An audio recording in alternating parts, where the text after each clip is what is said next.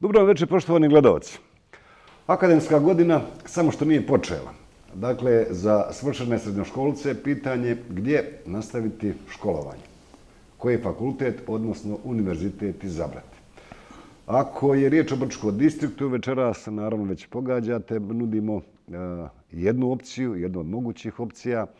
Dakle, večeras e, razgovaramo o Evropskom univerzitetu Brčko distrikta, nekako koji već e, dosta godina onazad, naprosto zato jer je vrijeme da svršeni srednjoškolci donesu odluku. Šta možete očekivati, šta vam se nudi večera sa mojim gostima? Dobro večer, dobrodošli sa krenut ću ovako redom. Profesor dr. Halid Žigić, inače dekan Tehničkog fakulteta na Evropskom univerzitetu. Dobro večer. Dobro večer. Akademik eh, profesor dr. Nedeljko Stanković, inače, ajde ja ću ga predstaviti, predstavit ću vas gospodine Stanković kao predsjednika Upravnog odbora Evropskog univerziteta, mada je to samo jedna od funkcija koje obavljate. Dobro večer i vama. Akademik, profesor dr. Rudika Gmajnić, inače dekan Fakulteta za medicinu, farmaciju i zdravstvo na Evropskom univerzitetu. Gospodine Gmajniću, dobro večer i vama. Večer, poštovanje. Naravno, razgovaramo o mogućnostima, odnosno prilikama koje nudi Evropski univerzitet ovdje u Brčkom, a vi, poštovani gledalci, vaše pitanja mojim gostima, dileme, nedoumice također, možda možete razriješiti ako pozovete broj telefona 217 461, ne zaboravite, 049, upravo telefona koji možete postaviti pitanje mojim gostima. Dakle, akademska godina još nije počela. Evo, gospodine Stanković, pošto ste vi na neki način alfa i omega kada je riječ o Evropskom univerzitetu ovdje u, u, u Brčkom, recite mi jesu li gotove pripreme i je li očekujete uspješan početak ove naredne akademske godine? A akademska godina počinje prvi ponedljak u oktobru, to je mislim da je to 3. oktobar. A, pripreme, u stvari mi, nama je to već 13. godina i mi smo to već e, rutinski radimo, nije tu problem. A, šta mogu da se pohvalim, da mi imamo 23% bolji upis ove godine nego prošle i što iz godine u godinu mi smo prvi izbor studentima. Znači nismo mi oni koji ako se ne, ne primje na nekom drugom dolaze kod nas, nego smo jednostavno prvi izbor i to mi je drago. Vidim sve mlađu populaciju na univerzitetu. To su djeca iz srednje škole koja su došla i koja se tu kod nas upisuju. I meni je, vjerujte, e, srce puno kad vidim da dolazi da se nešto tu nauči, da, da, da, da je to omladna, da je živo, da, da se nešto dešava. Znači imamo pun univerzitet od ponedljika do subote uveče. Mm. Šta, šta mislite da je, da, da je presudilo? Jer čini mi se, porađene muke su bile duge i teške. Mm, vrlo interesantno, koliko rekao sa 20% veći upisi, prvi ste, prvi ste izbor. Šta je to što, što je eventualno presudilo? Jer znam da nekada nije bilo tako, da, ste, da se čekao oktobar i kraj oktobra da bi se popunili studijski program. Pa 23% je veći. Pa vjerovatno je, tu smo mi domaći. Drugo, većina koji su otišli prije godinu, dve, tri dana, Novi Sad, Beograd i van, van Sarajevo, zbog svih tih dešavanja i skupoće stanova, školova djete u Novom Sadu, u Sarajevu, u Beogradu, sama, e, sama e, stanarina košta mnogo, pa čak skoro i jedne, polovina jedne plate od nekog roditelja, odlučuju se djeca da dođu kod nas. Ili profesori koji rade u Novom Sadu i Sarajevu rade i kod nas. Znači, isto je znanje ne može ovaj ništa on steći bolje znanje u Novom Sadu ili Sarajevu ili Beogradu nego kod nas ako hoće. Onaj ko hoće da uči, on sigurno će naučiti i bolje i više nego nekom drugom, a ako neće, neće naučiti na Harvardu. To je tako. Znači, ima, svugdje ima oni koji čekaju da prođe te godine, nekako od šest ispitnih rokova, on će nekako da se provuče i ide. Ili ode na neki drugi fakultet pa mu se prizna ono što je položio pa se upiše godinu više, da mu se diferencija. I pogledajte da ima dosta njih koji u svoju školovanju promene po četiri univerziteta ili fakulteta, a u stvari to je samo prolazio da bi lakše završio. To, to su, e, tih studenta mi više nemamo. Vi ste nekad bili na početku alternativa. Dakle, studentima koji nisu stigli da upišu državne univerzitete, onda bili ste neka alternativa i ja bih rekao, pa kao zadnja šansa, ajde, ima, ima mjesta na privatnim. Međutim, šta mislite, zašto je to sad odjednom 20 i nešto posto, rekao ste, veći upisi i veći broj studenta kojima je to zapravo jedini izbor Evropskog univerziteta? Šta je, to, šta je to što je presudilo? Pa ima tu i akreditacija koju smo dobili prošle godine, da mhm. uljeva sigurnost roditeljima i studentima. Naše se diplome priznaju svugdje.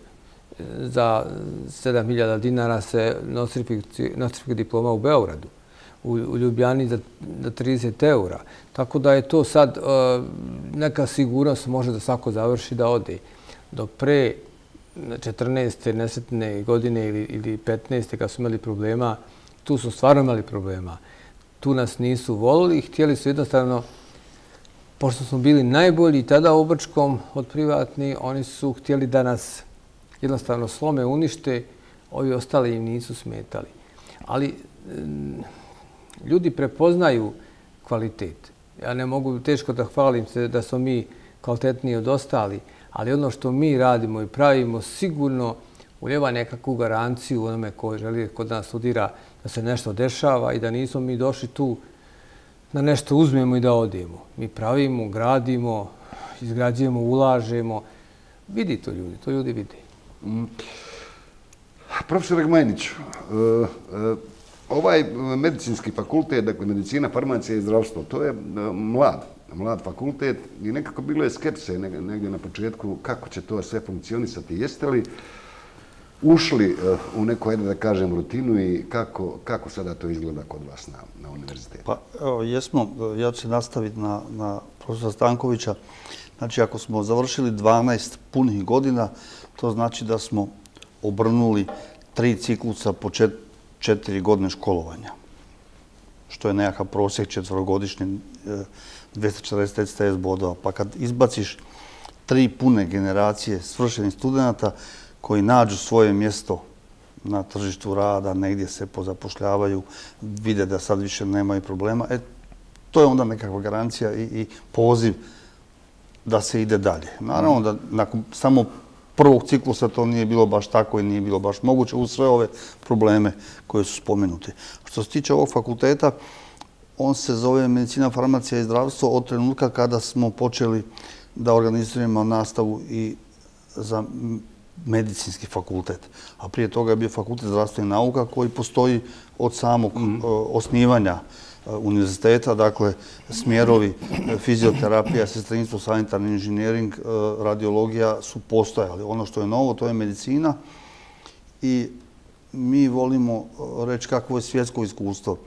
Univerzitet koji se usudi ući u projekat da organizira nastavu iz medicine, time dokazuje nekakvu svoju izvrsnost. Time dokazuje da je spreman za najveće izazove, što bi rekli uz dužno štovanje svima ostalima najteže organizirati. Zbog praktične nastave, zbog obima gradiva, zbog raznolikosti profesora i tako dalje, mi u ovom trenutku e, možemo svu moguću teoretsku nastavu, e, neovisno o bilo kome organizirati, možemo organizirati svu nastavu u kabinetima, e, Vjerojatno će kasnije malo biti govora i o zgradi i o opremi. Dakle, tu smo apsolutno suvereni.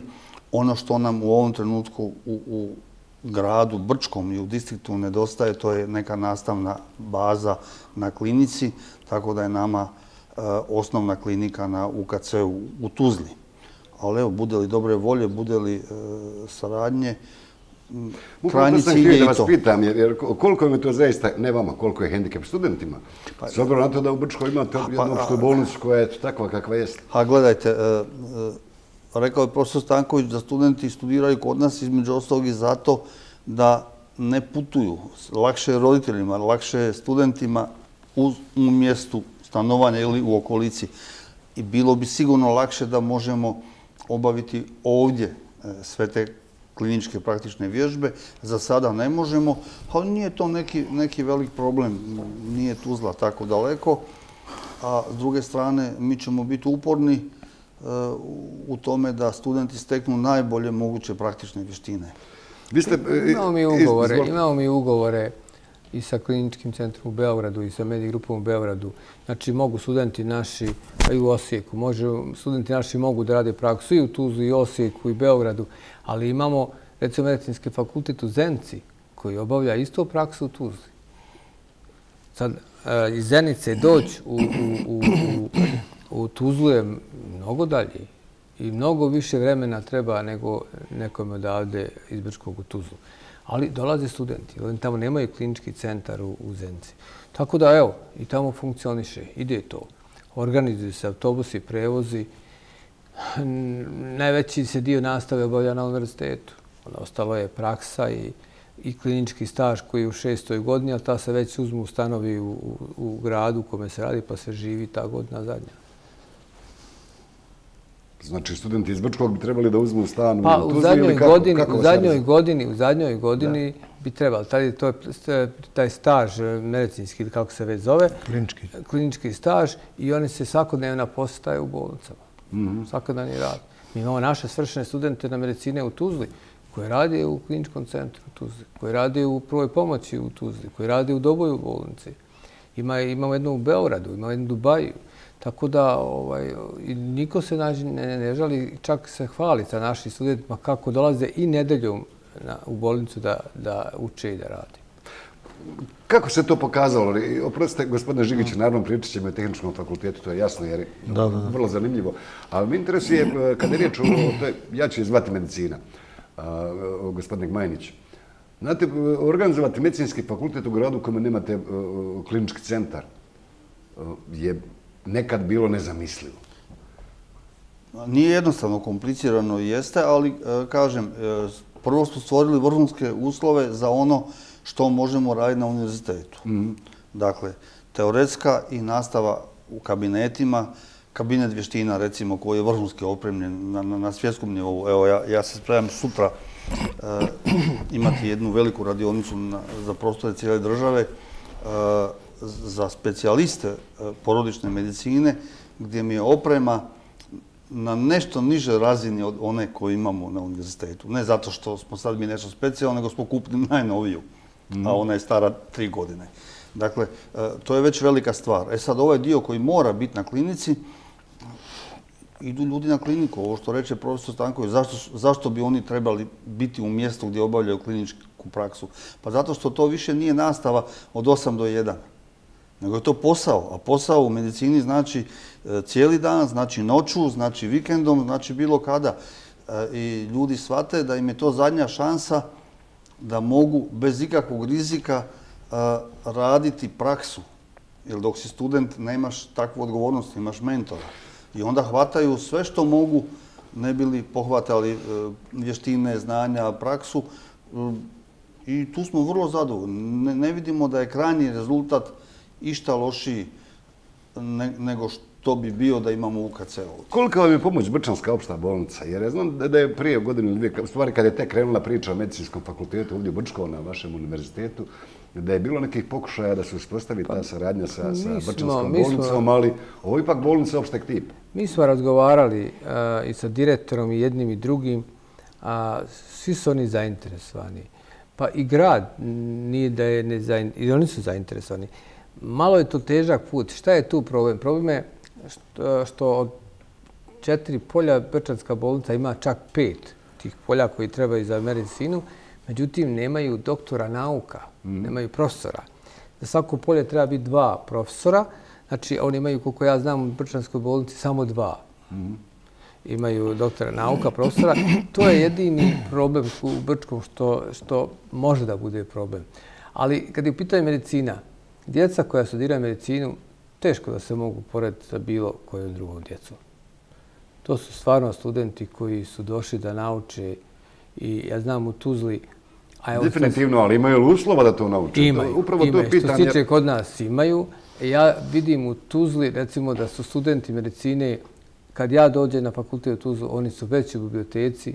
To je, to je učenje kolektivno i oni su od ujutru do uveče na fakultetu onda pokazuju mlađim kolegama, drže vježbe za njih. To je tako, e, tu djecu ne treba tjerati. Oni su stvarno ovaj došli da nauče, evo imamo i ovdje, na prvu godinu koji sad završili, to nikad niko nije, ovaj, ne, tu nema mali ocean, to su sve dobri studenti koji su stvarno došli da nauče. Imamo sad i imamo sad tri puta više nego prošle godine na medicini. I ima i čak iz e, Crne Gore, ima iz e, Ima iz Bosne normalno, ja mislim da ima iz Osijeka jedno. Iz Osijeka i Koji došli kod nas. Tako da je to, niko tu ne očekuje od njih da će proći lakše. Ne. Nego stvarno imamo dobru opremu. Evo, mi smo kupili opremu koja je, vidjeli ste opremu Tuzli. Ova oprema koja je kupljena za Brčko je sigurno 30% kvalitetnija i više ima nego u Tuzli.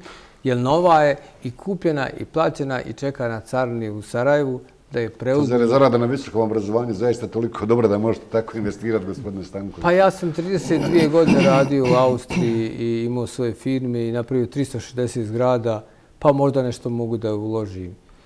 Treba da pitate oni koji su zaradili pare, nisu ništa uložili, šta su oni Dakle, filantrop, jel? Ne, ne, ne, uh, oprostite što upadam. Uh, medicina je imidž. Aha. Dakle, medicina je imidž i tu se ne gleda biznis. Znate, to je imidž i to je nešto, kad si ušao, to moraš napraviti pošteno, kvalitetno. Tu ćeš ili past ili nećeš past, ili ćeš napraviti veliki iskorak unaprijed. Kad si se usudio ući da organiziraš medicinski fakultet, e, ponavljam, nek se niko ne ljuti, ali kad e, student završi i dobije diplomu, on upravlja procesima o kojima ovise zdravlje, bolest, životi. Ne bi se nitko od nas igrao E, time da napravimo, reći kolikvijalno, loš proizvod studenta koji neće odgovoriti zahtjevima i biti pravi, dobar, kvalitetan e, e, doktor. Dosadašnje iskustva sa onima koji su završili pokazuju da smo na dobrom putu. I bez obzira na ulaganja nastojimo taj imidž održati jer imati u okviru univerziteta medicinski fakultet je ipak nešto što baš ne može svako. Da.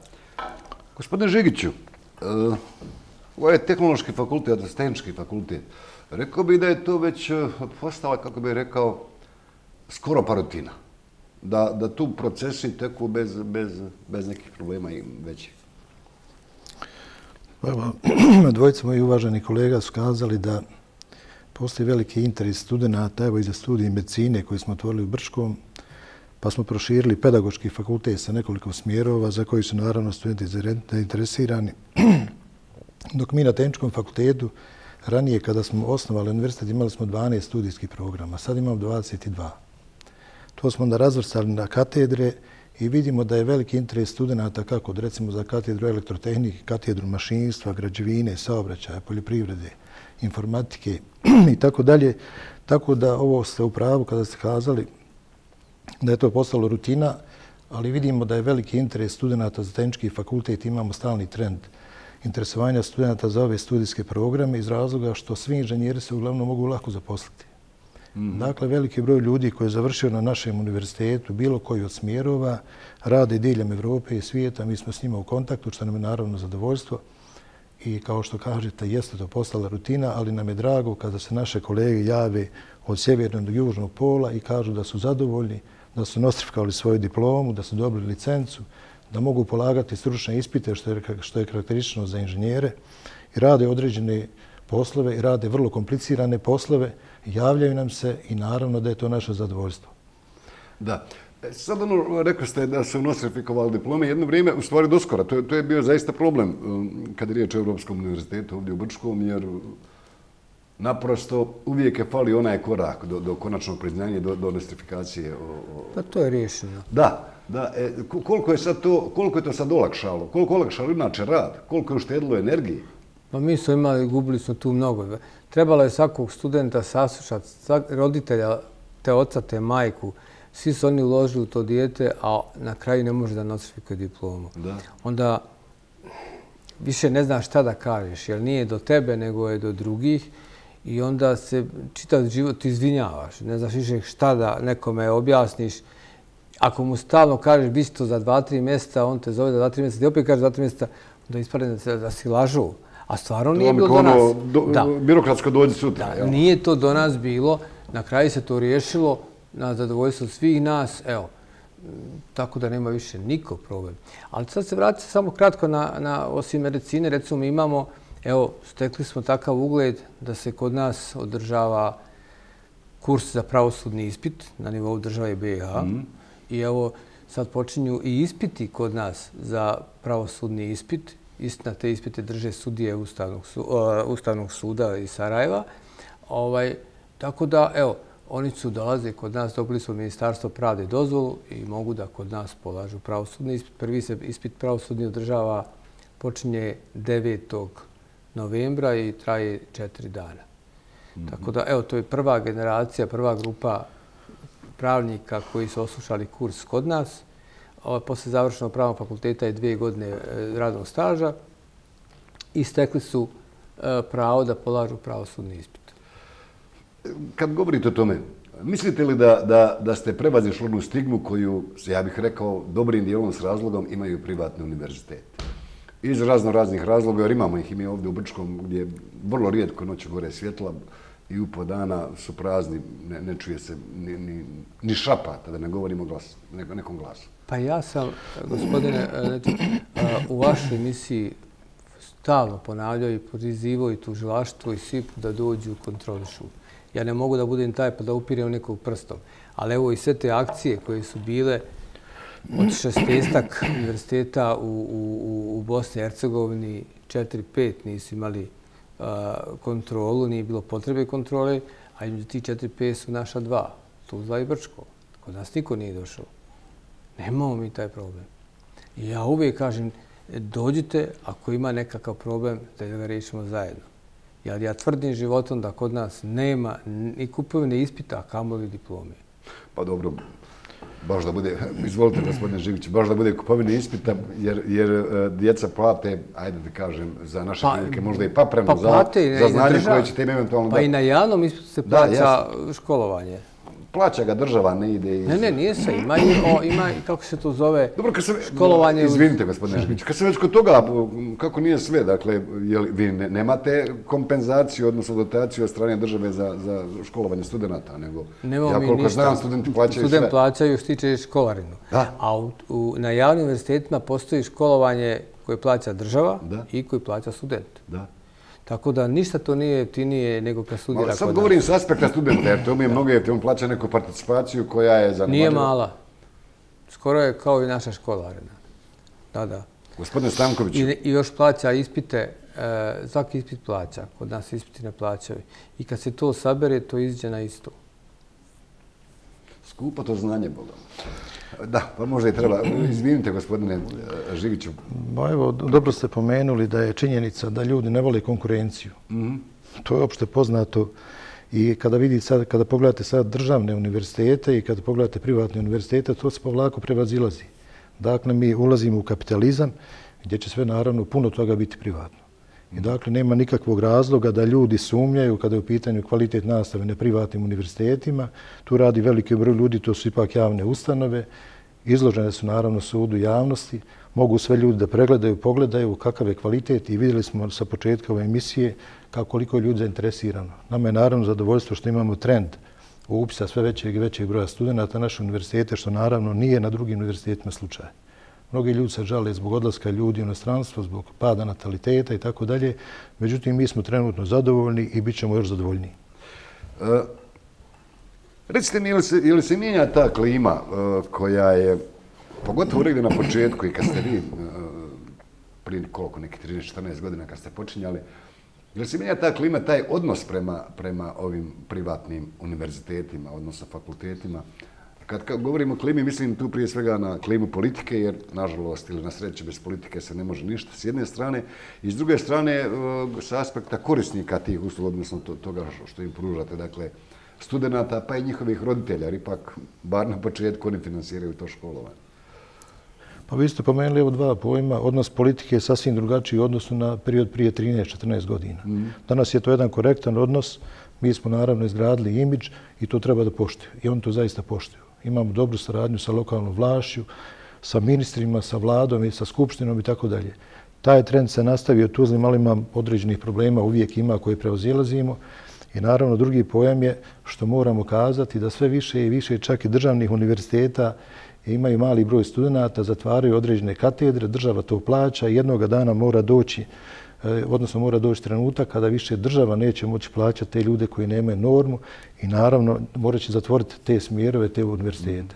A na privatnom univerzitetu sasvim druga priča. Pa znate, pa doskora i sada dobrim dijelom važno je da e, studenti e, na državnim fakultetima novcem koje daju plaćaju znanje, a na privatnim diplomu. Je li se to, je li se ta, ja ne znam koliko se je promijenila ta percepcija i koliko ovo uopšte važi za, za, u ovom trenutku za privatni univerzitet, jer kad su tek počeli, zaista je to bila, ja bih rekao, nigdje i činjenica. Dobro, činjenica je ono da kad malo mi razmišljamo iz ove perspektive, da veliki broj inspektora koji kontroliše javne ustanove, između ostalog javne i privatne univerzitete, uglavnom idu ka privatnim univerzitetima jer uvijek ima nekakve prijave, ima nekakva sumnja i tako dalje. I vi se morate svakoga dana dokazivati da ste dobri, da nema tu nikakvih problema, o čemu je kolega Stanković govorio i morate stalno dokazati. Međutim, kad državnom univerzitetu ne idu, ne dira ih niko jer država ne dira državu. I onda dođete u priliku da zaista imate određenih problema, ali i to se prevazilazi. I to se prevazilazi. Gospodine Gojnić. Odgovor na pitanje da li se menja percepcija je da. Dakle, značajna je razlika, značajna je razlika danas u odnosu na one, ali mi ćemo neskromno reći i zahvaljujući našim naporima da, da izdržimo, da održimo. Ja bih jako volio da uopće ne razgovaramo e, na temu privatno, javno, nego dobro i loše.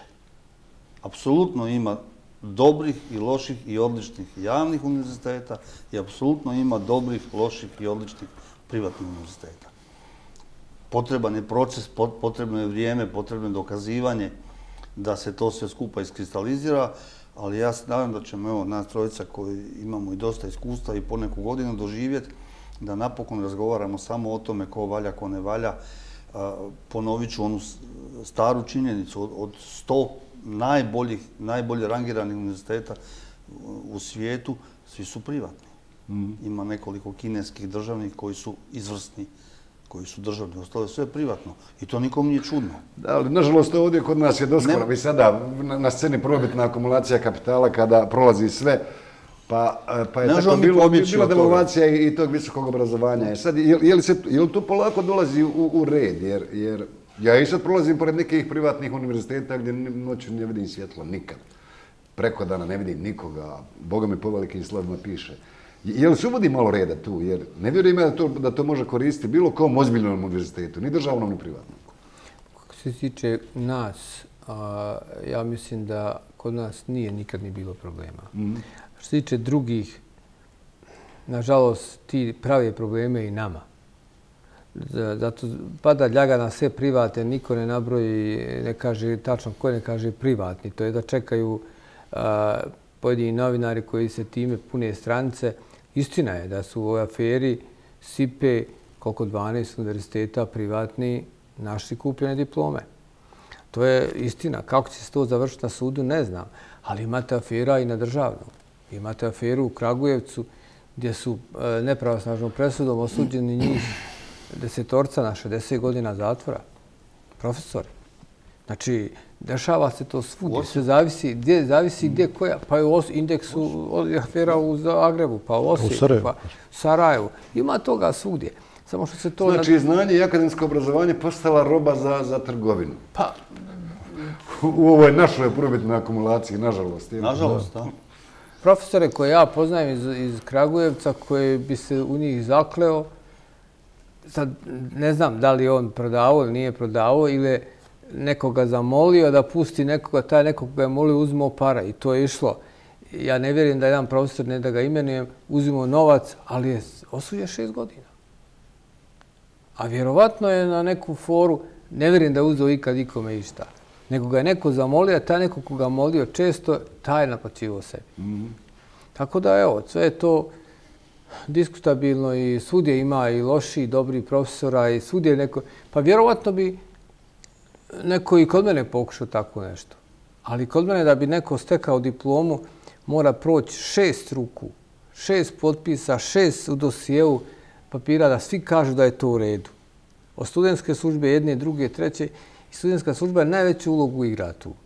Tako da oni moraju sve da provere i njihova izjava i potpisom ide u dosije. I tek nakon toga se diploma štampa sa dvoje prisutnih i dolazi na potpise kod nas. Dobro, gospodo, da vas pitam, evo, zaista e, sva trojica potičete iz te oblasti visokog obrazovanja koja je nasumnjivo jako bitna, jer na kraju krajeva pa tu se stvara budućnost svake, svake zajednice, svakog društva, svake države, pa i ovog našeg.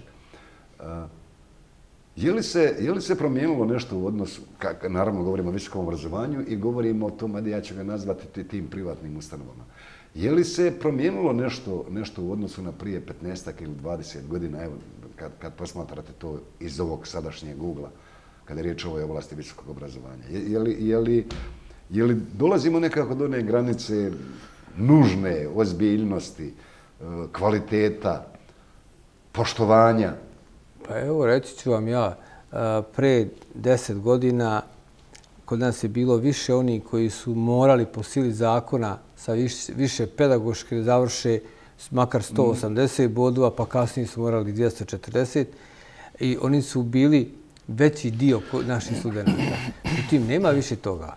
Sad su to djeca koja se školuju od prve godine i kod nas nema malo prelaza.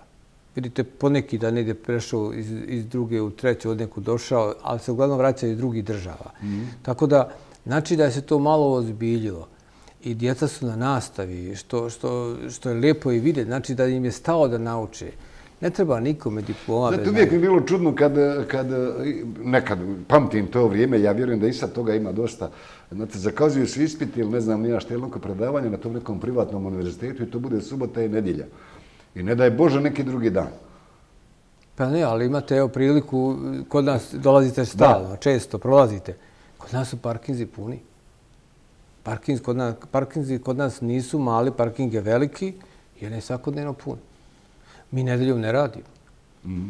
Ne radimo nedeljom. Tako da mi radimo od ponedljika do subote. Da. Imamo i tehnički razlog zašto sve ne može biti petak, subota. Student ne može u jednom danu i u jednom roku položiti puno ispita. Dakle, moramo to rasporediti i raspoređujemo od ponedeljka do subote. Ali to stvaranje povjerenja i put prema tome da jednog dana razgovaramo samo o dobrim i lošim, a ne o privatnim i javnim, je proces. Mi smo mhm. sad, ja bih rekao, možda negdje na sredini tog procesa. Jesmo li stigli do sredine? Ili Evo, ja, ja ću biti optimista i reći da smo sad na sredini tog procesa, gledajući iz naše perspektive. Mm Gdje smo bili, kako smo se opravdavali, na koja smo pitanja morali odgovarati. Danas na neka od tih pitanja više nemamo potrebe odgovoriti, jer je apsolutno jasno šta ćeš pitati, je li vredi ili ne vredi, e, šta, šta će biti. Jer, znate, tu i tamo se neko zaleti sa pitanjem koliko to košta. Danas tog više nema, niko ni ne pokušava nas pitati da bi nešto kupio. Jer, znači, u tom procesu smo napravili nekakav pomak. E, E, univerziteti i, i, i, i uopće e, edukacija, nastava, nikad nije nešto što je kratko. Zašto univerzitet e, prvu rečenicu kad govori o sebi, o sebi kaže koliko je star? Mm. Zato što se razvijao. Danas je za univerzitet 40-50 godina malo. Ovi koji imaju 80-100 kažu mi smo dobri, ali evo 100 godina radimo. A gledajte, za 13 godina više od ovoga, vjerujte, nije moglo i ako smo došli do pola, to je izvustno. Neka drugu polovicu tako odradimo, eto, doživjet ćemo da, da, da napokon e, se ne razgovara o tim stvarima, nego da se razgovara o tome e, šta mi nudimo nauci. Mm -hmm. Gdje smo mi u cijelom tom sustavu? E, gdje smo u evropskim, svjetskim razmjerima? Ja volim onu temu webometriksa, to je neovisno bodovanje univerziteta. A prije deseta godina kad su spominjali webometriks, e, bilo je podsmijeh, a šta će vam to, šta vas briga, ko šta misli o, o vama. Evo, danas se svi jako trude da, da, da im budu što više na toj rang listi.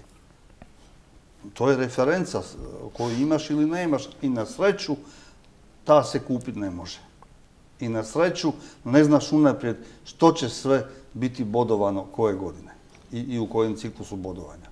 Pa, gospodo draga, spremite se. Dakle, e, cijelu godinu radite na, na podizanju kvalitete. Mm, možda da iskoristim, već kad sam uzeo riječ, e, naš simpozij koji svake godine okuplja sve veći broj stručnjaka. E, to je već događaj koji je strašno prevazišao i distrikt i državu.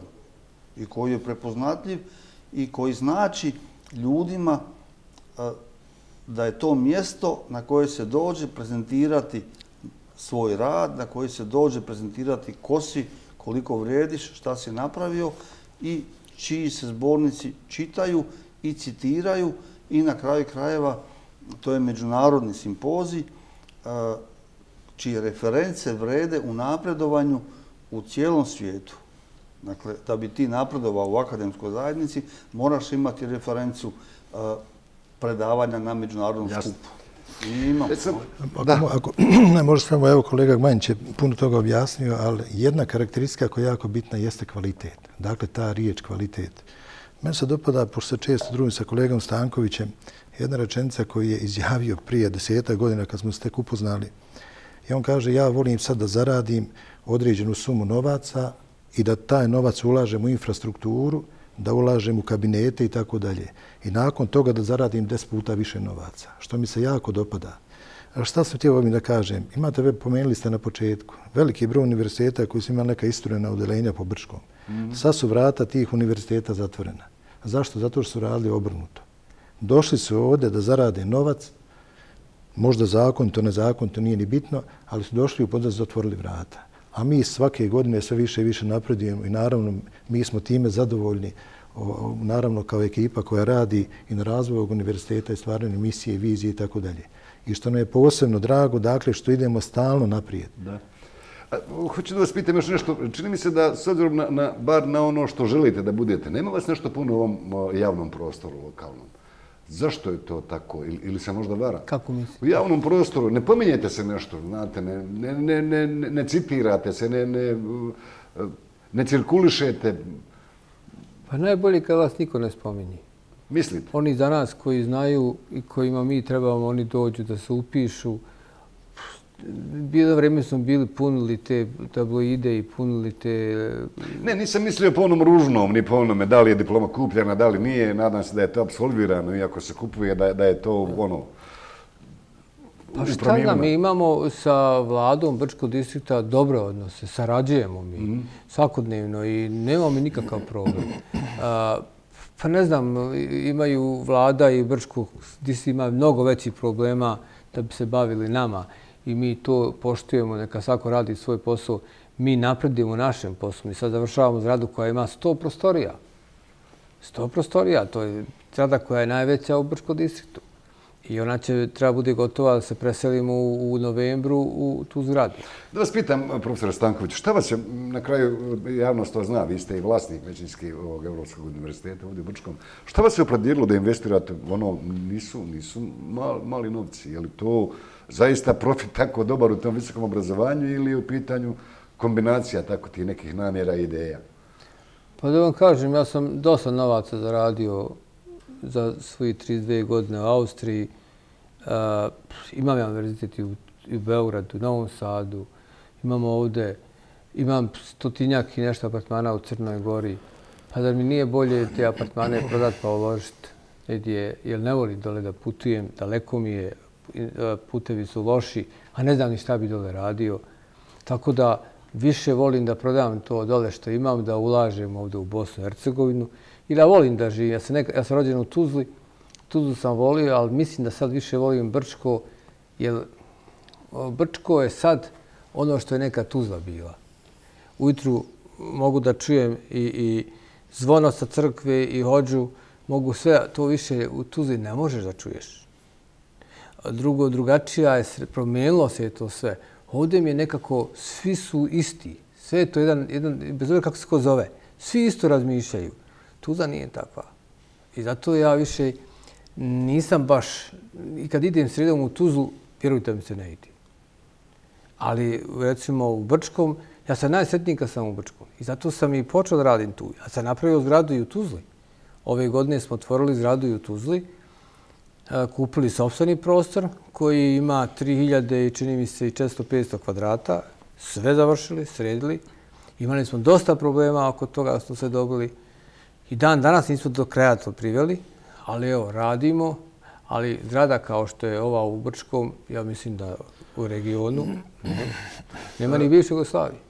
Da, pa znate, kad, e, kad, kad, upravo kad se govori o, o, o tom visokom obrazovanju, nekako je, o, bar ovdje kod nas, vladalo mišljenje da to ne može biti profitabilna, e, profitabilna djelatnost, da je to nešto što treba da se subvencioniše država, jer mm, košta, na kraju, zaista to, to, to košta. Tako da e, je bilo pomalo i skepse znate, privatni univerzitet, privatni fakultet, kako se tu može zaraditi novac na drugi način nego da, ne znam, da se zakine neko ili onaj ko plaća školarinu ili, ili neko, neko, neko. Ta stigma stoji. A moramo početi vjerovati. Kad popravljate auto, dirite državni servis privatni. Privatni. Pa državnog nema. Stomato... Pa nema. Zašto? Zato što je neko shvatio da što, a kada je nešto nič, svači, ničije, onda nije ništa od toga. Znači, nešto mora biti nečije. Kad je država, onda je to svačije a u prevodu to nije ničije. Kad idete kod stomatologa, idete opet kod privatnika. Ništa ovi u domu zdravlja nisu lošiji, ali tamo nekako ne možete se naručiti, ne možete gubiti pola dana kod privatnika, završite to za 20 minuta. Znači sve je privatno dobro, osim tog nesretnog obrazovanja. Ima problema, tamo se to smiri, sve, mm. a onda se pojavi neka afera i koja ne godi nikome, ni studentima, ni državi, ni, ni, ni tim univerzitetima. Ima univerziteta koji bi se ja zakleo da su dobri. I sad kad sam to vidio šta se dešavalo, ne mogu da vjerujem. Poznajem i ljude i znam da imaju novac i da su prodavali diplomu, nikak. Koliko bi neko trebao da da novaca da bi ja to prodao i sutra išao u zatvor? Koliko to vrijedi? Pa dobro, niko, pretpostavljam da oni koji rade takve stvari pa, ne misle da će biti upačeni. Pa ne, može, tako ne, da, ne postoji, ne, sav, da, znaju da, da, ne da postoji savršen uh, zločin. Znači, nema toga, to može samo slučajno da to je nešto zaobiđe. Ali ako to radiš često i svakodnevno, ne možete zaobići. Dobro, vidim, nova zgrada je, e, ona je skoro pri kraju. Koliko će tu naprijeti nastav, profesora Žigić? Pa evo, kolega Stanković je pomenuo da tamo imamo negdje oko 100 kabineta, učionice, kabinete, kancelarije i tako dalje. Ostaje nam samo da unesemo tamo opremu i ovo da završimo i građevinske radove. Naravno, imat ćemo daleko bolje uslove i naravno u takvim uslovima kada čovjek radi bit će zadovoljniji kako nastavnici, tako i studenti i njihovi roditelji i naravno i mi ćemo biti time zadovoljni. Imaćemo veći broj studenta i stvorit ćemo uslove koji su slični u nekim drugim zemljama, razvijenim zemljama. Koliko vam smeta to što, recimo, Brčko nije, ne znam, studentski grad, univerzitetski grad, bez obzira što je, postoji fakultet ovaj ekonomski koji je državni, postoji taj vaš evropski koji je privatni univerzitet, postoje još neke škole školice, ne znam da li postoje, da li ne postoje, ne znam, postoje bar po firmi, onoj koja je istaknuta. E, e sad, e, e, to, to, to što Brčko nema, kako bih rekao, tu e, infrastrukturu koja je ipak potrebna za kvalitetno visoko obrazovanje. Kad kaže infrastrukturu, zna se na što misli. I studentska menza i domovi i sve ostalo. Pa, nažalost, mi nemamo studenta koji su dalje od 50-60 km od Brčkog. Mm. Nemamo. A, možda i do Beograda, da im, ali to se stigne za sat kolima i oni studiraju obično nešto na, na vanredno, pa ne studiraju ono što mora biti svaki dan prisutni. Mi smo imali jednu priliku da upišemo studente iz Indije koji su studirali u Ukrajini i sad kako je rad počeo, oni su iz Ukrajine napustili. Htjeli su kod nas, međutim nama je rečeno da oni neće moći dobiti vize. Zašto Indijicima ne daju vize, nemam pojma. Da neće dati vize Indijicima koji žele studiraju na privatnom univerzitetu nikome. Tako da je to nekako i stalo. Da. Mm -hmm. Primjer, mislim da je 30-ak upisano ti indijaca na, možda u, u, no, u Banja Luci i nešto desetak, 15 su Fočne medicinski fakultet. To je sve što je prošlo. Kako su prošli, ne znam.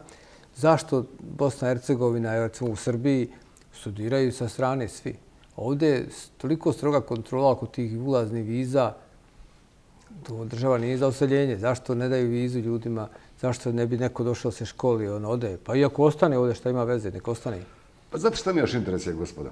A, a, kad pogledate Zapad, pa i Ameriku, ako hoće Sjedine američke države, manja mjesta nije, nije ništa neobično da postoje poznati i jako univerziteti u manjim mjestima. Kod nas to nije slučaj.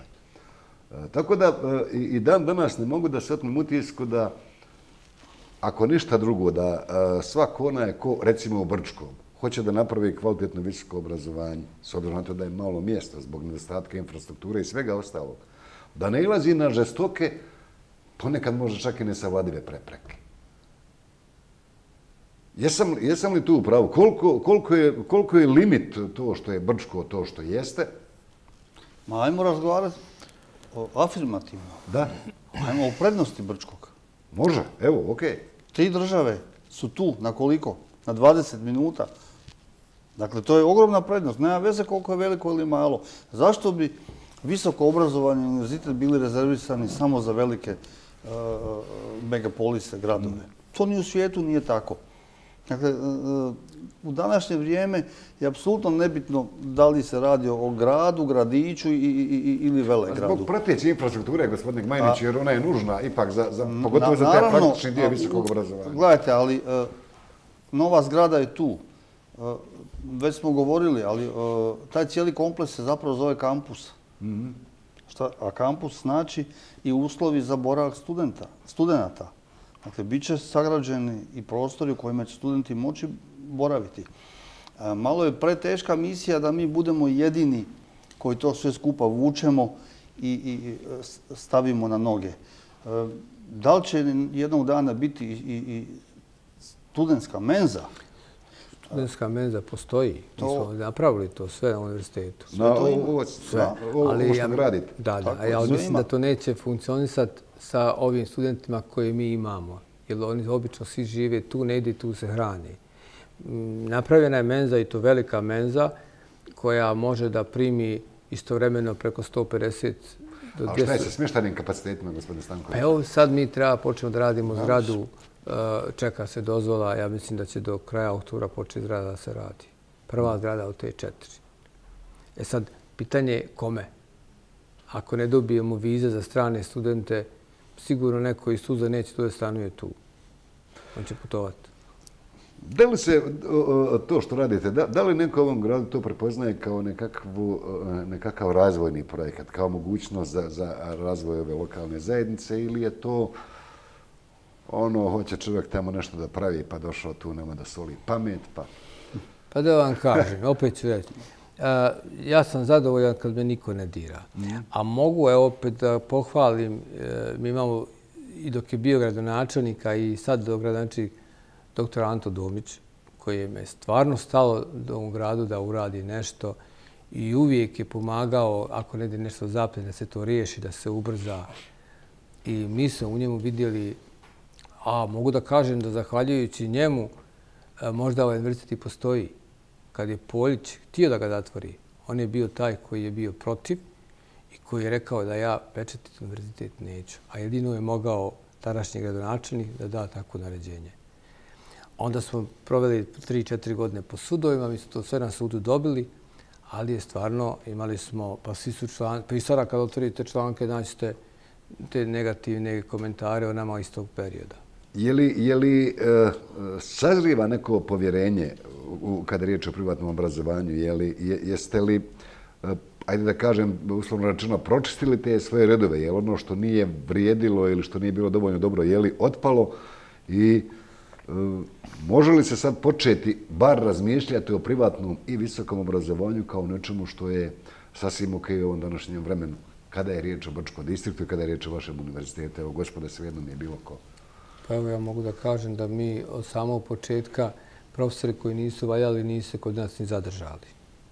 Nažalost imamo, se, mislim, 13 profesora koji su umrli kod nas. Nisu svi bili stari. Najstariji imao 65 godina. Sad je umro e, prije 7-8 dana profesor Tešanović, mhm. koji je imao 67 godina. Ali imali smo i profesoricu koja je imala 38 godina pomrla. Tako da, evo, Eh, 13 profesora i izvrsnih profesora da nas napustilo. Oni koji nisu valjali, mi njima imena i ne pamtimo, vjerujte. Oni su odradili možda mjesec, dva dana, zakasnili dva put na predavanja ili su nešto odradili što ne je trebalo više, ga nismo nikad zvali. Tako da tim ljudima i ne pamtimo imena. Ono što kod nas radi, ja tvrdim da su dobri. Uh, uskoro nova zgrada, uh, ili joj se radujete? Evo, prije, evo pitam vas, gospodine Žigiću, zato što ste nekako mi čovjek baš iz najdirektnijeg onog uslovno rečena procesa proizvodnje. Šta će to znati, značiti i vama, Boga mi studentima? Kada prođete kroz bilo koji grad, kada vidite da se nešto gradi, osjećate neko zadovoljstvo. Mm -hmm. I naravno, kada vidimo, kao što smo malo prije kazali, da imamo jednu najveći zgrada u Brčkom ovde, i kada pogledate sa te komunikacije Brčko-Bijeljna, kako je to fin objekat i tako da naravno ćete biti zadovoljni. Zadovoljni su i oni koji dolaze u Brčko i odlaze iz Brčkog. Svi pominju tu zgradu kako je jedan jako fin infrastrukturni objekat, arhitektonski odlično riješeno, građevinski također i ostala infrastruktura koja će biti u njemu, naravno će biti na zadovoljavajućem nivou. I naravno mi smo time zadovoljni. prezadovoljni. Mm. Uslove pretpostavljamo da će biti neuporedivo bolji nego, nego do sada ili? Normalno. Se tiče uh, zdravstvenih fakulteta i tenč fakulteta, sve nova oprema dolazi, sve to novo sve neraspakovano još i to je preko milijon 500-600 ljada uloženo. Znate što je meni fascinacija, gospodine Stankoviću? Nekako, bar negdje u nekom, ne, nekom mom razmišljanju, to obrazovanje, pa i visoko obrazovanje za mene bilo poslovanje negdje na ivici neke, pa da kažem, rentabilnosti ili, ili, ili, ili e, mogućnosti da se da neki dinar, neka marka i ostane. Međutim, vi iz godine u godinu i radite i gradite, idete i premijašte. Ili, ili to visoko obrazovanje zaista toliko profitabilno ili, ili ste vi filantrop? O čemu je riječ? Pa ja sam rekao vama kako sam svoj zaradio. Ja sam ga zaradio u Austriji, gradići zgrade i 360 zgrada sam napravio u Somboru desetak, u Beogradu, u Crnoj Gori. Još uvijek imam oko 60 stanova koje nisam mm. prodao. Pa bolje mi ima zgradu u Brčkovu nego u Budvi. Šta ću sa njom? gledam da to na jednom mjestu gdje ću da živim, da tu nekako to investiram i da ostanem i da na kraju krajeva da tu zgradu koju napravi, ja sam nju pravio, nije pravio na desetak, sam pravio privatno, kad bi je sutra iznajmio mom univerzitetu i samo primao kiriju, kiriju mora platiti i sad plaćamo kiriju, mm -hmm. zakup, ovaj, ja sam zadovoljan. Od te zakupa koje bi ja dobio, ja mogu da živim super. A i danas dan plaćam zakup, samo ne plaćam sebi, nego drugim zakupodavcima. Da, Tako da, evo, to je... Da, da. Izvolite. Hoću reći, mi se zapravo jako veselimo novom prostoru. I baš smo onako uzbuđeni, obilazimo, pratimo kako to ide, jer osjećamo da ćemo time zaokružiti jednu priču, dokazati i sebi i, i svima ono što smo mi mislili prije 10-13 godina, da je priča ozbiljna, da niko neće nigdje uteći, da niko neće ništa. Ne, e, ja, ja, evo, lično, mi sad imamo kancelarije koje su i fine, i uredne, i svjetle, i vidjeli ste. Ali baš se veselim novom prostoru, novim uslovima, gdje, gdje imamo široke hodnike, gdje imamo prozore, gdje imamo opremu, gdje ćemo svi biti kao mali grad u jednoj zgradi uh, i surađivati. Mislim da je to izvrsno i da to otvara apsolutno nove perspektive, ono što bi rekli no limit, više ničem nismo limitirani da mi tu zgradu napunimo, evo ti u Brčkom pravog univerzitetskog centra, nema problema. Pa, ajde, gospodine Stanković, pošto na neki način uh, sve to je započelo od vas. Evo, gospodin Majnić reče, reče univerzitetski centar. Pa ne, do sada, na osnovu ovih 14-15 godina iskustva koje imate kada je riječ o univerzitetu ovdje u Brčkom, uh, po vama, kakve su šanse da od onoga što gradite postane neki, zaista neki kampus koji će okupljati studente regije, Pa zašto ne i te iz Indije o kojem pričate ili ne znam, ne iz nekih drugih, pa čak i zapadne evropskih zemalja? Bez obzira što je Brčko tako mali grad. E, kad bi samo imali bolju saradnju sa Ministarstvom civilnih posla i kad bi se lakše dobijale te vize, mi bi sigurno doveli studenta iz Libije, e, iz Indije, iz, ne znam, e, Pakistana, iz Turske. Međutim, oni prave problem oko viza. Zašto? Ne znam. Pa dobiti srbijansko državljanstvo se može dobiti za šest mjeseci boravka u Srbiji, bosansko, ne možete ga dobiti nikad ste rođeni ovdje. Ja sam imao problem zbog državljanstva, pa sam ga nakredno poslije, poslije četiri godine dobio nazad. Ovaj, ne možete dobiti. Zašto? Zašto se neko boji tih ljudi koji će doći? Pa ti ljudi koji se školuju, žive četiri godine ovdje, oni ostavi novac u, u, u Brčkovu. Neki će da ostane da žive, pa neka ostane. Inako nas je malo. Koliko je otišao, 5-6 hiljada ljudi otišao u Brčku. Neka ostane, dođu novi ljudi. E, doći, naučit će, pa će se integrisati se u društvo, pa će biti građani Brčkog. Znači, treba pustiti ljudima da dolaze, olakšati im taj vizni režim i da se grad napuni, da bude živ. Evo, sad će, za mjesec dana ulta će biti pusta. Samo je nas, dvojca, trojca, uveče šetamo od, od novembra, decembra. Nema nikoga. Nikoga. A da ima studenta, bilo bi to puno. Znate što znači 500-600 studenta sa strane koji bi tu živjeli? Još imamo jedan problem u Brčkom, što e, Brčko je nekada imao dobre plate, pa su zapošljavali iz Srebrenika, Gradačica, Gračanice, Bijeljini, koji kad dođe petak odoše kućama i grad je mrtav do ponedeljka. Ipak oni puno zauzimaju radni mjesta u, u Brčkom Brčacima. Otišli bi, oni bi se vratili, njima se više ne isplati tu a ne mogu dobiju posao u svojoj sredini. Tako da je to, to problem. E, znate, pade mi na ovom nešto, recimo, sasvim slučajno znam, e, Foča, jedna mala varošica gradić, koji je nakon rata dobio medicinski fakultet, stomatološki, ne znam, čini se imaju bogosloviju, ajde, vjerovatno kad doktore pogriješe, pa onda popove da završe. Šala, naravno. Ovaj, I to je zaista jedan, jedan primjer kako grad, mali grad, duše sa, kada je riječ o medicini, sa bolnicom koja je s tradicijom, može da ima uspješno visoko obrazovanje. Zaista uspješno. Sa državnim fakultetima, ovo su nisu privatni. Šta je to po vama što fali Brčkom da bi bili recimo negdje u rani te, te foče? Pa evo, samo da vam kažem, i Foča nema univerzitetski klinički centar. Nema, tačno. I oni nemaju... Ali ima ozbiljnu bolnicu. Pa ima. Pa sad, ozbiljnu. Mnogo ozbiljniju nego ova ovdje. Pa ovo je ne fali puno. Mnogo ozbiljnije. Ne fali puno. Pa kad je osnovan medicinski fakultet, tu da sam bio u srednjoj školi. Mm I ta Tuzlanska bolnica je bila opšta bolnica. Da. A profesori su bili ljekari koji su predavali. Malo je bilo doktora nauka. Ali svaki početak je težak. Što znači da univerzitet na neki način bio generator za, za razvoj? Jeste. Pa gdje nema univerziteta, nema ništa. Univerzitet je taj koji okuplja. Pa mi skupimo svake godine naučnu skupu 400-500 doktora nauka. Odnosno s teme, dakle, pitah, e, e, može li, može li, ovaj, zaista, može li Brčko da, da, da... Može.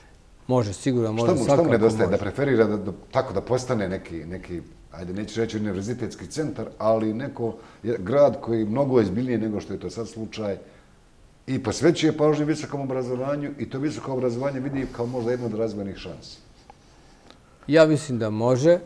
Samo opet kažem, treba eh, e, olakšati dolazak stranih studenta u, u Bosnu i Hercegovinu i u Brčku. To je, to, kogod dođe ima problem, ne može da uđe. Da bi neko se upisao kod nas iz neke države, on prvo mora dobiti vizu da bi se upisao. A onda problem je kako da, se, kako da dobije na osnovu čega. Mm -hmm. e, oni dođu do Beograda nekako, pa onda daju punomoć e, nekom od prijatelja koji na osnovu punomoći upiše kod nas. Pa kad se upiše, onda mi damo potvrdu da je upisan. Pa onda na tu potvrdu on dobije vizu. Da. To je komplikovano, da ljudi izgube volju, oduše tamo gdje je lakše to. Treba pojednostaviti, treba to uprostiti, treba to ubrzati. Evo, ako, ako, da, ako da. možemo samo jednu rečenicu u kontekstu ove priče, čemu je kolega Stanković govorio. Dakle, te vize koje su problem, koje naša vlast naravno treba da da zainteresirane ljudima iz inostranstva da bi došli da studiraju. A drugi problem je, ja malo kad čovjek analizira, uzmite razvijene zemlje Zapada. Razvijaju ekonomiju na razvoj, visoko, na razvoj visokog obrazovanja. Primjer Turska. 800 privatnih univerziteta otvoren, čak i u manjim gradovima. Sa tog aspekta, kad pogledate kako se Turska danas razvija... Ne mislim da je to devalvacija visokog obrazovanja. Nije devalvacija, ali visoko obrazovanje utiče na razvoj svake zajednice, da. pa je države. I onda sada kad bi se došli u poziciju, malo kad pratite druge neke parametre, budžet Brčkog distrikta, 240, 250 miliona... 300 i nešto, 300 i nešto. živi zdravi, da. U Tuzli je četiri puta manji budžet. Dobro, Tuzla se financira malo drugačije. Tuzla se financira malo drugačije, dakle, ali veći je budžet. Kad bi iz tog budžeta, koji je kakav je takav, evo 300 miliona, 250, nije bitno, kad bi malo iz tog budžeta izdvojili i dali i privatno univerzitet, ne nemate drugog univerziteta, malo pomognete oko infrastrukture, oko opreme, oko svih drugih manifestacija koje se organiziraju, naravno, mogu su se brže razvijati. A mi očekujemo u narednom periodu, u narednim decenijima, ako ne u narednim godinama, da se to i desi, da se malo iz budžeta izdvoji sredstava i da se uloži u privatne univerzitete. Sad da vas pitan, kada je riječ o Europskom univerzitetu, nekako praksa nas je naučila od, od, od završetka rata na ovamo kako je to visoko obrazovanje postalo i stvar privatnog sektora, da je to uglavnom bilo, kako bih rekao, jednokratni posao. Čovjek dođe, vidio je tu neku šansu da onako nešto na brzinu organizuje, neko nastavu, neko predavanje, da naplati to, proda ili, ne znam, izda neke diplome i to je tako bilo. I onda je vjerovatno ovaj, nastala i, i, i, i čišćenje i selekcija i valjda je ostalo ono, ono, ono što vredi. E, da li vas sada, bilo ko u ovom gradu, pa da ne kažem i regiji, posmatra kao možda moguću razvojnu šansu, ako ste ozbiljan univerzitet? Znači, stjecište i kadra, i znanja, i ne znam, sve, ideja. Pa ja se ne krećem baš takvim krugovima, ali oni ljude koje poznajem, vidim da nas cijene, da poštuju, uvažavaju, i, i vidim da su zadovoljni, sretni što vidi takav jedan objekat koji se vidi sa Iličke, koji se vidi iz Brezika na ulazu u grad i to je najveća zgrada i mislim svako normalan ovaj treba da bude sretan. Ja kad vidim bilo šta u gradu da se napravi lijepo, ja sam sretan što se pravi kružni tok. A sam nesretan što tamo kod tržnog centra nema regulisan savraćaj. Tamo će neko poginuti a onda će se napravi kružni tok kad neko pogine. A već je bilo, Boga mi ne prođe sedmica da ne bude jedan ili dva udesa. Sjeća, niko nije poginuo. Ali zašto treba neko da pogine da bi se to napravilo? E, akademska godina, samo što nije počela, rekao ste 30% veći upis. 23%. 23%. Ovaj, je, li, je li to novo što gradite privuklo studente ili, jeste li, ili već postajete neko ko je tabliran na ovim prostorima? Mi smo postali brend i naravno zbog toga većina studenta upisuje naš univerzitet. Postali smo brend. Ipak živimo deceniju i nešto godina, 13 godina. Izgradili smo se i naravno studenti dolaze i upisuju. Pa neki ne znaju da pravimo zgradu, a upisuju. Nisu svi odavde. I koliko ste, ajde da kažem, e, to političari sad upotrebljavaju, vole da upotrebe te izraz, samo država institucije. Jer ovo kod nas je bilo dosta, znate, čovjek koji, koji je entuzijasta, koji je pokren nešto, to ide i sad, naravno, izgubi interesovanje ili ga nema i to propadne. Koliko je ovo, evo, prije svega pitam vas, gospodine Stanković, koliko je ovo jedna institucija koja koja može računati na dugovječnost, mnogo veću nego što je ljudski vijek. Ako ste planirali da ja brzo umrem, ne, neću. Ne, ne. A ovaj, ako, kad ja odim, ako bude neko bio pametan pa da ništa ne dira, da samo nastavi, to će živiti decenijama. Ako bude prepametan pa nešto bude mijenio, ono što ide dobro, onda neće trajati dugo, kao i sve ostalo. Mm. I evo, da. Nama je najveća pomoć da nas se ostavi da radimo da nam se ne smeta. Ne mora nas biti e, u kafanama, u hotelima, na, na ulici. Pusti nas da budemo na univerzitetu i da radimo ono što najbolje znamo. Ne ometajte nas. A kad bi nam neko još i pomogao na način da stvori bolje uslove, bolju logistiku, e, onda bi to bili pravi generator razvoja e, i, i, i distrikta, pa i, i šire ako hoćete. Dakle, perspektiva je ogromna. Nije sve jedno da, da li grad Da vas još uvijek niko nije prepoznao kao jednu od razvojnih šansi. Pa evo da vam kažem što. Nama nisu potrebni novci. Ali recimo kad se e, vidi da su svi naši studenti dobili stipendiju e, vlade Bečko distrikt. Mhm. I to je vjerovatno nešto što je podiglo upis. Kad daje vlada stipendiju na tom fakultetu, to nešto znači. E, sad kad bi vlada nekim E, nekom svojom pričom, politikom, nekim, možda i nekom donacijom, nešto pomogla, to bi privuklo i studente preko granice. Znači, univerzitet je zajedno ide sa, sa vlašću, sa politikom. I tako će rast. Kako raste univerzitet, vjerovatno će i, i sredina da raste sa univerzitetom. Bez univerziteta Brčko će biti ništa. Akademska godina uskoro počinje. Jeste li popunili kvote ili još uvijek ima mjesta? Ili... Ima, ima mjesta. Mi imamo po akreditaciji dosta pravo na upis. Imamo sprem prostora i profesora mnogo.